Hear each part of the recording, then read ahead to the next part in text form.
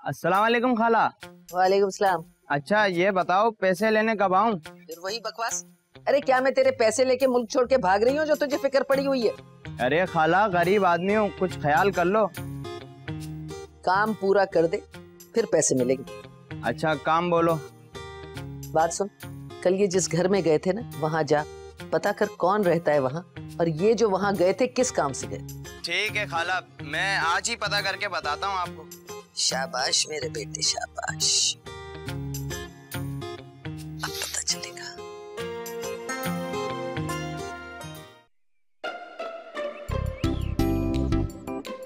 ये लें जी भाईजान आपकी चाय। शुक्रिया यार। अपने नहीं बनाई? अरे नहीं भाईजान पी ली मैंने। क्या बात कर रहे हैं? अब तो पैसे वैसे आ गए हैं। सरफा तो नहीं कर रहा? भाईजान पैसे वैसे आ गए हैं लेकिन अम्मा तो घर पे ही है ना। किसका फ़ोन है? अस्सलाम वालेकुम जहांगीर भाई। हेलो? हाँ हाँ इशफाक बात कर रहा हूँ। अच्छा। अच्छा। अरे वाह वाह वाह। जहांगीर भाई आप रोक के रखिएगा रोक के रखिएगा। मैं आपको आधे घंटे बाद फ़ोन कर रहा हूँ। अरे आप फ़िक्र ही ना करें इंशाल्लाह सब हो जाएगा। सब हो जाएगा। बहुत बहुत शुक्रिया जहांगीर भाई दिल जीत लिया आपने खुदा की कसम। अरे भाई स्टेट एजेंसी वाले जहांगीर भाई थे। वो कह रहे हैं जिस तरह का हमें फ्लैट चाहिए था वो मिल गया है। क्या बात है भाईजान जहांगीर भाई तो चीते निकले। इतनी जल्दी? हाँ यार। लेकिन एक मसला कर दिया भाई ने। कह रहे हैं आज ही एडवांस देना पड़ेगा वरना फ्लैट हाथ से निकल जाएगा। लेकिन भाईजान इतनी जल्दी एडवांस कैसे दे सकते हैं? वो जो कामी से पैसे मंगवाए थे अम्मी के इलाज के लिए वो तो खर्च हो जाएँगे। फिर कहाँ से खर्चे पूरे करेंगे हम? अमी से फ़ोन करके और पैसे मंगवा लेते हैं। अरे नहीं भाईजान ठीक नहीं ना लगता अभी तो मंगवाए हैं दोबारा फिर फ़ोन करके मंगवाना अबे यार तू इतना होशियार होके भी नहीं बात समझ रहा। अरे भाई अम्मी जान का इलाज हो रहा है हम पैसा पानी की तरह बहा रहे हैं अम्मी जान को ठीक करने के लिए तो पैसा लग जाता है। हमसे बात तो आपकी ठीक है। आएगा ना पैसा और फिर? हम तो इलाज के लिए पैसे मंगवा रहे हैं, कौन सा अपने लिए मंगवा रहे हैं? कोई बात नहीं, फिर आप जाएँ अंदर जाके अम्मी के पास बैठे, उनका ध्यान बटाएँ बातें जाते करें। मैं जरा कामी को कॉल खड़काता हूँ, ठीक? फ़ौरन।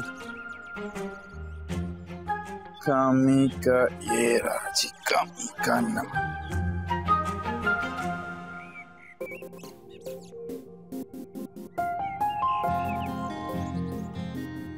क्या कर रही हो, अम्मा? अरे कुछ नहीं बेटा ये कुछ कपड़े हैं जो फिटिंग करवानी है इनकी।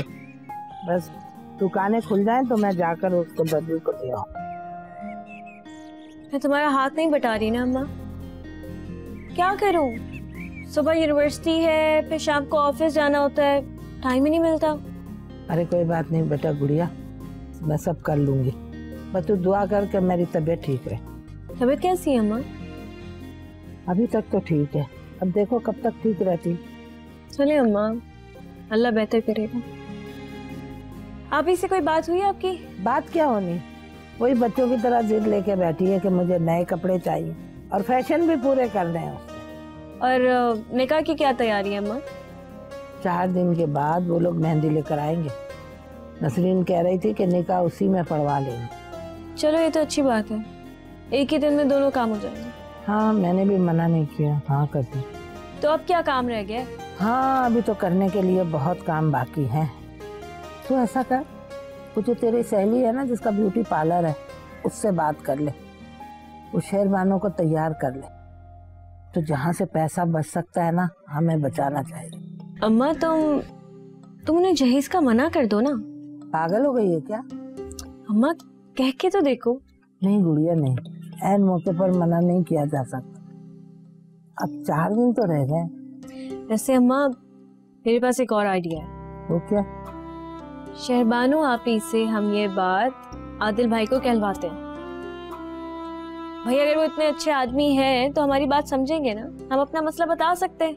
नहीं हया ये कोई अच्छा थोड़ी लगेगा। क्या सोचेगा आदिल हमारे बारे में? अम्मा वो इस घर के पहले दामाद हैं।